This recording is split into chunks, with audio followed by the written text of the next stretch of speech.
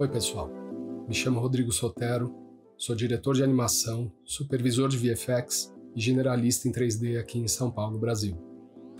Eu queria começar agradecendo a Keios e ao Ricardo Eloy pelo convite em participar desse evento incrível com tanta gente talentosa do mundo todo. É uma honra fazer parte desse show e poder dividir aqui com vocês um pouco da minha história. Para começar, vou mostrar aqui alguns dos meus trabalhos para vocês.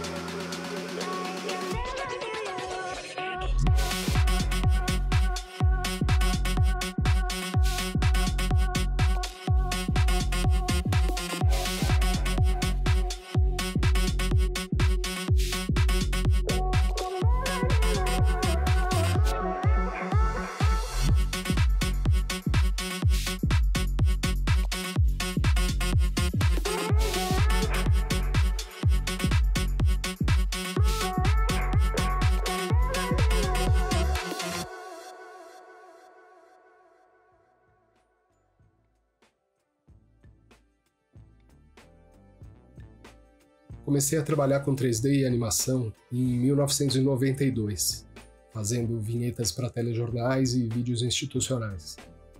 Nessa época, aqui no Brasil, não existia curso, tutorial, faculdade, nada do que se tem hoje. Para aprender, eu só tinha os manuais mesmo, estudando sozinho, sem ninguém para dividir conhecimento. Eu conhecia uma única pessoa que trabalhava com 3D e ele não passava informação nenhuma. Alguns anos depois, comecei a fazer também animação para publicidade, a área a qual eu fiz a maior parte dos meus trabalhos até hoje. Eu trabalhei em várias produtoras aqui de São Paulo, nessa época produzindo o Sol 3D. Em 97, eu passei pela Casablanca, Vetor Zero e Chroma, que eram as grandes produtoras da época e faziam os melhores comerciais. E nesse período eu foquei na parte de composição e correção de cor, usando Flint e Flame. E com isso eu pude começar a oferecer um trabalho mais completo, fazendo o 3D e toda a pós-produção também. De 99 a 2003, eu trabalhei na Tratoria de Frame, um dos melhores estúdios de animação da época, aonde eu foquei na animação, produzindo nesse período de quatro anos mais de 100 comerciais, com muita animação de personagem e misturando técnicas tradicionais com o digital, foi lá que eu tive meu primeiro contato com stop motion e fiz alguns projetos aplicando essa técnica no 3D. São trabalhos antigos, feitos 20 anos atrás, com as limitações dos softwares da época, mas que eu me orgulho de colocar no meu rio até hoje. Até que em 2006 eu abri o estúdio Fliperama, que era uma produtora de animação e pós-produção onde eu segui fazendo publicidade e também games e finalização de longas e séries para TV. Fiz filme de tudo, creme dental, carro, bebida, cosméticos, tênis, banco, remédio, até de pipoca. E alguns desses projetos ganharam prêmios em vários festivais de publicidade, como o Festival de Cannes, El Oro, The One Show de Nova York, Clio Awards, Wave Festival, entre outros. Eu dirigia as equipes, mas em todos os projetos eu sentava na cadeira e sempre produzia junto com todo mundo, modelando, animando e sendo o responsável pela finalização de todos os filmes. De série para TV, eu fiz toda a cor da série do Zé do Caixão para o canal Space e todos os efeitos do Briggs, que era o modo de inteligência artificial da série Mundo Mistério, com o Felipe Castanhari. Essa para Netflix. Foram anos incríveis, sempre fazendo alguma coisa diferente. E em 2020, quando veio a pandemia, eu decidi fechar a produtora e montar o estúdio em casa. E nessa mesma época, comecei a ter uma demanda em produzir animação e finalização para videoclipes. O desafio com esses projetos era sempre dar o tratamento geral da imagem. Eu recebo material filmado e faço todos os efeitos de 3D, extensão de cenário, às vezes componho algum elemento em 3D que ficaria caro para a arte produzir fisicamente, tratamento de pele dos artistas, corrigir alguma coisa que saiu errado na filmagem, então muito track em rotoscopia. E no final todo o tratamento de cor. Alguns desses projetos vinham com até mais pressão que a publicidade, pelo tanto de fãs e seguidores que os artistas têm. Se tem um comercial que fica ruim, não vão ter milhões de fãs da marca indo ali criticando a arte. Para ter ideia, nesse período eu produzi pouco mais de 20 videoclipes que hoje somam mais de 540 milhões de views, isso só no YouTube. E eram projetos que o diretor me dava 100% de liberdade criativa para sugerir técnica, linguagem, onde os efeitos poderiam agregar no resultado final, bem diferente da publicidade, que vem com todo o que vídeo já definido pela agência. Então foram projetos muito legais de se fazer. Eu vou mostrar um pouquinho desses clipes para vocês aqui. Por exemplo, essa cena. Eu usei modelos criados com fotogrametria, que dão um absurdo realismo para a cena. E no roteiro tinha umas cenas de um carro pendurado num guindaste pegando fogo. E claro, na hora já me veio, essa cena vai ser feita com Phoenix. Para fazer o setup do fogo foi muito rápido, e o preview em GPU ajuda muito na hora de acertar o vento, para saber para onde que a fumaça vai. É muito útil. Otimiza demais na hora de acertar a animação.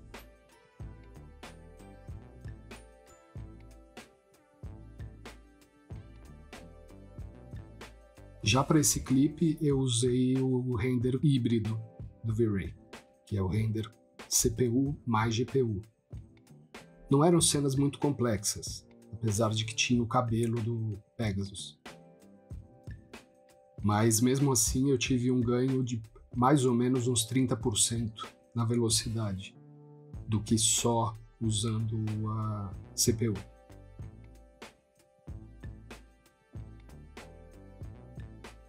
E esse projeto aqui foi muito legal. Mais um projeto que usei o Phoenix, mas dessa vez para simulação de líquido. Chocolate derretendo, no caso. Dá para ver que foram algumas tentativas até achar a viscosidade correta. Usei muito o V-Ray Displacement para trazer mais detalhes para as cenas, para o chão, para as texturas dos chocolates. E videoclipe é isso, muita composição. Volta e meia tem as cenas com fundo verde que a gente remove para poder criar uma extensão do cenário e colocar algum elemento para enriquecer a cena ali. Essas cenas do rio foram um pouquinho mais trabalhosas porque eu tinha que remover o reflexo do croma lá atrás no rio, fora a aplicação de todas as árvores e mais a cachoeira de chocolate lá no fundo.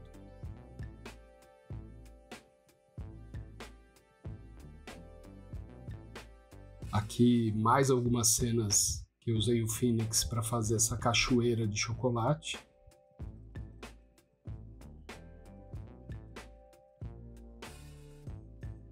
E aqui as cenas externas, que são as minhas preferidas. Tonéis explodindo chocolate. E para as chaminés eu sugeri como se elas fossem bolinhas de sabão, só que feitas de chocolate. Bem melhor que a fumaça. Agora, essa fonte de chocolate, ela deu trabalho. Porque era um emissor em cima e outro embaixo. E à medida que o de cima ia derrubando, o de baixo começava quase a transbordar. Então foram várias tentativas até achar uma forma ideal para conseguir equilibrar o que emitia em cima para não transbordar embaixo e também achar a viscosidade correta. Essa, acho que do clipe inteiro, é a minha favorita.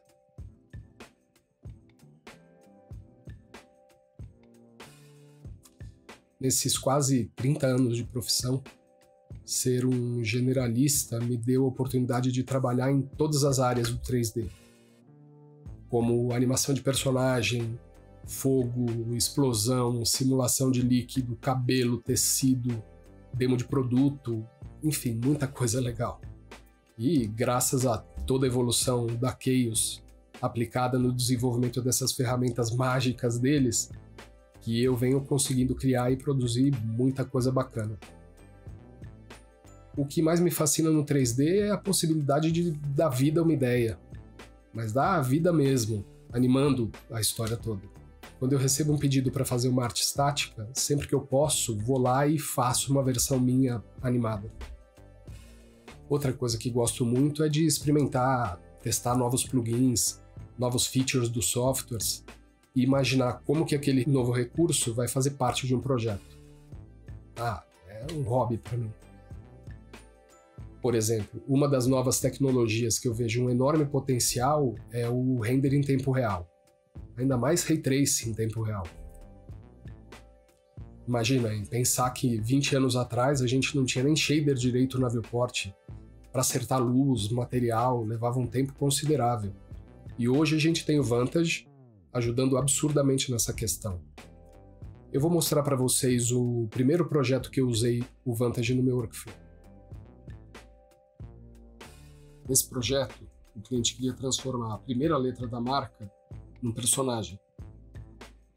E para isso eu criei uns controles específicos para poder ter mais distorção do, da letra inteira porque como a gente não tinha expressão facial para poder trazer um pouco mais de riqueza, nem os membros, eu até tentei sugerir para o cliente de a gente criar pernas e braços, mas eles preferiram realmente ficar sem os membros.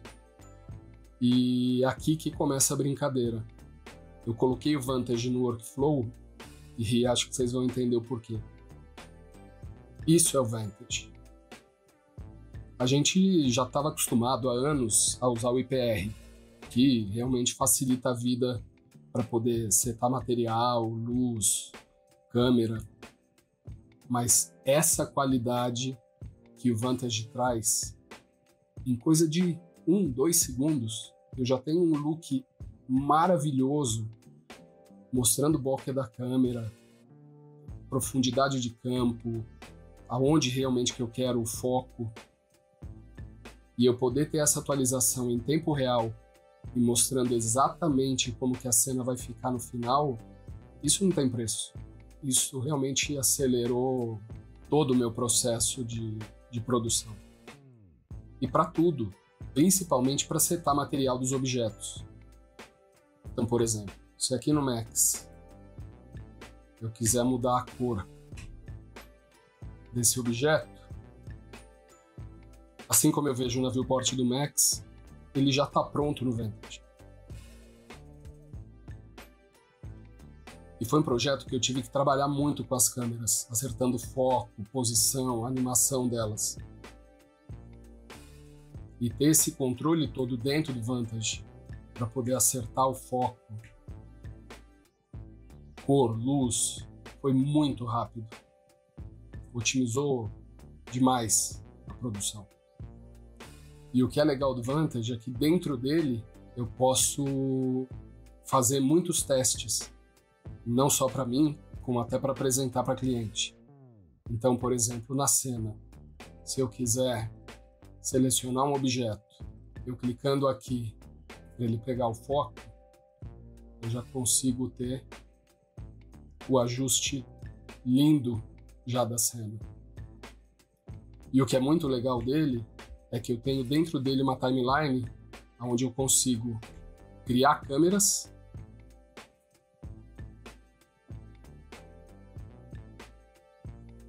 e criar animação para elas. Então, por exemplo, se eu pegar essa câmera, digamos que eu queira ela, clico aqui, crio uma câmera. E eu queira fazer um movimento de câmera. Então, digamos que eu queira sair daqui e vir para cá. Num plano um pouquinho mais fechado e com foco no carro. Eu crio uma nova câmera arrasto essa para cá. E na hora que eu arrasto a segunda, ele já me dá uma transição. Eu seto um tempo e ele já me mostra em tempo real o resultado dessa animação. E para fazer um preview disso daqui é estupidamente rápido. Se eu quiser renderizar essa sequência, eu vou acelerar um pouco aqui, mas aqui a gente vê que em dois minutos eu já vou ter o render finalizado.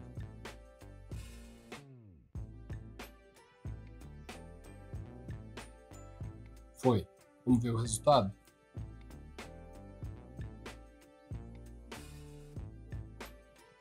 Claro, tá um sample baixo, e realmente é para preview, então a gente vai ver muito flickering aqui, mas para a resolução que é de 720p, tá lindo.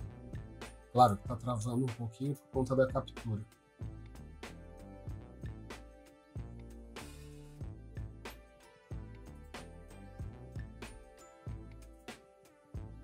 E eu consigo ainda atualizar. Digamos que eu mandei isso para o cliente. Ah, eu quero um pouco mais de desfoque nessa primeira cena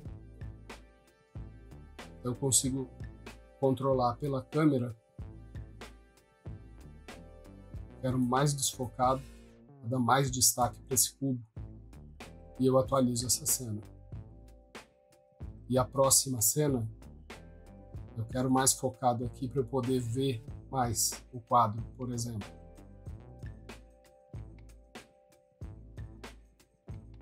Atualizo essa cena e pronto. Aí é renderizar de novo e aprovar com o cliente.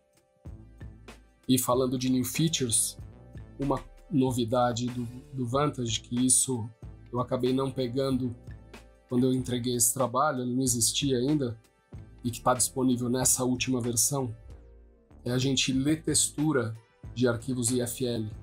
Se eu tivesse um projeto, que é esse o caso aqui, e eu tenha uma TV, um tablet e que eu preciso aplicar uma textura animada nessa tela, até a versão anterior não era possível.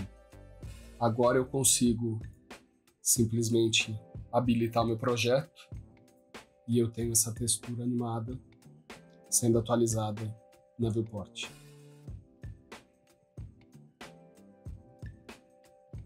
Outra novidade, para mim, pelo menos, nesse projeto foi o uso do Cosmos, que eu nunca tinha usado.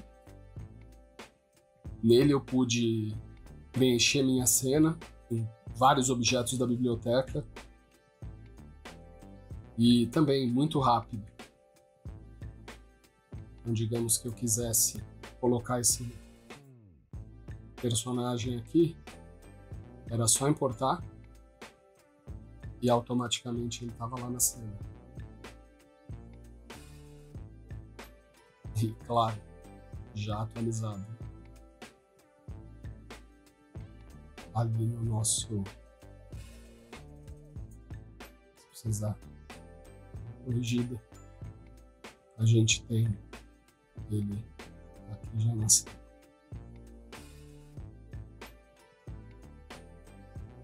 Bom, vou mostrar para vocês como é que ficou o resultado final. Totalmente renderizado com Vantage.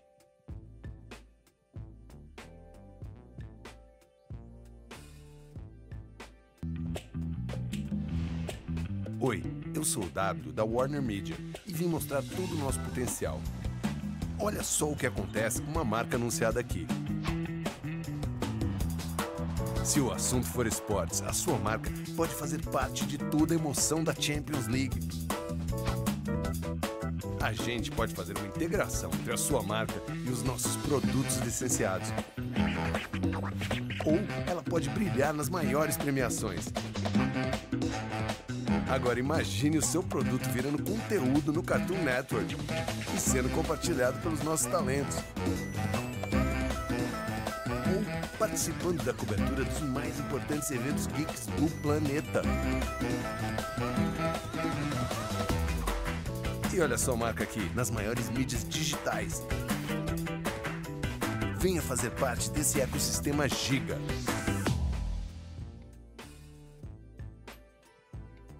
É isso, pessoal. Espero que tenham curtido o que eu mostrei aqui para vocês.